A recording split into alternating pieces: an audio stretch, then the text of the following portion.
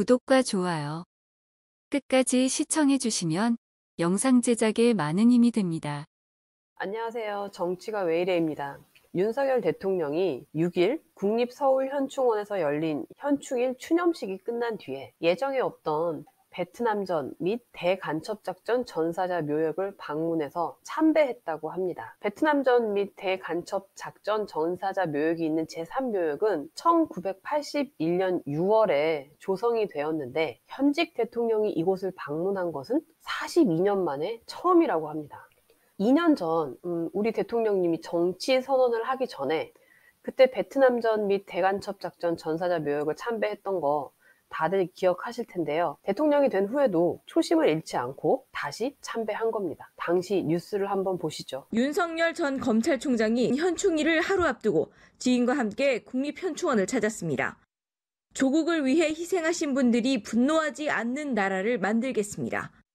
윤 전 총장이 방명록에 남긴 메시지인데 분노하지 않는 나라를 만들겠다라는 표현으로 볼 때 대권의 도전 결심을 굳힌 그가 조만간 공식 출마 선언을 할 것이란 관측을 낳게 합니다.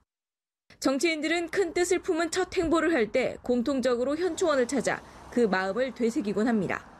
특히 자신이 펼칠 정치의 이정표로 이의 묘소를 참배하고 앞으로 어떤 정치인으로 살 것인지를 자문하고 밖에 알리는 계기로도 삼습니다. 윤 전 총장은 충원탑 지하에 위치한 무명 용사비와 위패 봉안실을 찾았고 일반 묘역으로 건너가 월남전과 대간첩작전 전사자 유족을 만나 위로했습니다. 널리 알려진 정신이 아닌 무명 용사비에 참배하고 일반 묘역을 찾은 것은 앞으로 윤 전 총장이 일반 국민들을 위한 정치를 하겠다 선언한 것으로 읽힙니다. 이런 가운데 처음으로 본인이 직접 조국을 위해 희생하신 분들이 분노하지 않는 나라를 만들겠다는 정치적 메시지를 낸 것은 정치인 윤석열로서의 첫 행보를 시작한 것으로 받아들여집니다. 당시 윤 대통령은 현충원에서 충원탑 지하 무명용사비와 위패 봉안실에 헌화 참배한 뒤에 일반 묘역에서 베트남전 대간첩작전 전사자 유족을 만나 위로한 바 있죠. 그날 방명록에 조국을 위해 희생하신 분들이 분노하지 않는 나라를 만들겠습니다. 라고 썼는데요. 당시 조선일보와의 통화에서 이 방명록의 의미를 물어보니 내려앉은 국격을 다시 일으켜 세우고 내팽겨쳐진 국민의 자존심을 세우자는 의미라고 설명을 했었습니다. 그러면서 호국 영령과 국가를 위해 남편과 자식을 잃은 가족들이 지금의 안보 태세와 국가를 위해 희생한 사람들에 대한 열악한 처우에 얼마나 붕괴하고 있는지 우리가 알아야 한다. 소위 벼슬 한다는 사람들 중에서 시신 수습이 안 됐거나 유골은 발견이 됐는데 신원 확인이 안 된 분들이 모셔진 무명 용사비나 지하 납골당을 찾은 사람이 아직 없다는 얘기를 듣고 방문한 것이라며 국가를 위해 희생한 분들에 대한 예우를 제대로 해주지 않을 때 그 유가족들이 느끼는 분노는 이루 말할 수가 없을 것이다 라고도 얘기를 했었죠. 얼마 전 국가보훈처를 국가보훈부로 승격시키면서 대한민국의 영웅들을 더 잘 살피고 예우할 것이라고 약속한 윤석열 대통령. 초심을 잃지 않고 잘 해나가고 계신다는 그런 생각이 듭니다. 존경하는 국민 여러분, 국가의 품격은 국가가 누구를 어떻게 기억하느냐에 달려 있습니다.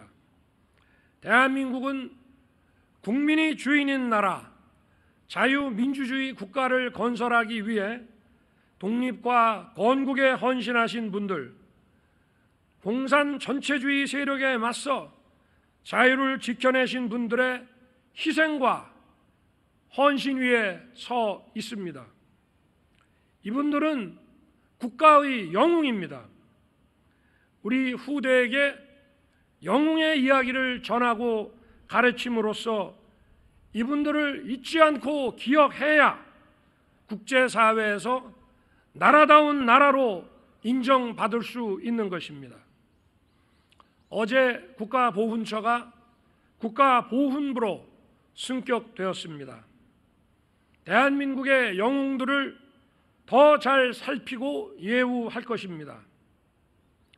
윤석열 대통령은 이날 사병들의 묘역을 돌아보며 참배온 유족들에게 전사한 영웅들과 좋은 말씀 많이 나누시라고 또 대한민국의 자유와 번영은 전사하신 분들의 피 묻은 전투복 위에서 시작된 것이라고 격려했다고 합니다. 이에 유족들은 살다 보니 이런 날도 온다며 감사를 표했다고 하죠. 또 대통령은 유족들과 일일이 악수하고 사진도 함께 찍고 일부 유족들은 또 대통령 화이팅 응원 구호를 외치기도 했고요. 얼마나 마음 뿌듯하셨겠습니까? 어디서 전사하셨어요? 저 베트남 어디에? 우리 중대원이 16명 정도 결혼을 안 하셔서 그때부터 지금까지 안 가시죠? 저도 한 번도 안 받았습니다. 아우 감사합니다. 하여튼 전사자들의 피 묻은 전투복 위에 있습니다. 맞습니까? 맞습니다. 예. 감사합니다. 그래. 예. 네, 맞습니다. 동생분이세요? 네. 그쵸 여동생이시죠? 네. 아 이번에 여동생이시구나. 네. 카메라 말고 오빠가 그럼 뭐저 못하죠. 못하셨죠? 감사합니다. 아니요, 저희가 항상 이런 날도 있네요. 해다 보니까. 오빠하고 좋은 말씀 많이 나누세요. 네. 네. 이리 오세요. 저하고 하나 찍어.